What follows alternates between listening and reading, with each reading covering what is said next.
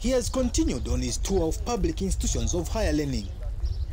Education Minister Douglas Syakalima has visited and toured University of Zambia Ridgeway campus to check and appreciate the challenges of infrastructure at the learning institution. Whoever is going to be given to complete, if they are the same contractors, they will have to give us within the time of period that we actually give them. Because most of these infra, I mean, uh, stored infrastructure, they are above 50. So they cannot take another two, three, four years. No, they will be given a time frame in order for them to complete.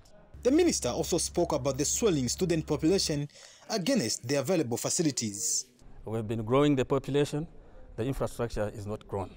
So this brings a big challenge to all of us. We toured the laboratories, where they were supposed to be 80, they are now 130 to 100.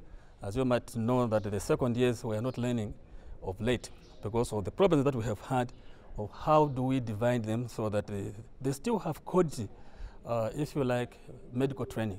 And Unzasu Ridgeway campus president, Zaga Silomba, is confident government will address the plight of students. The reality of problems that the ministry is awakened to and committed to sort out really do make us as students very happy.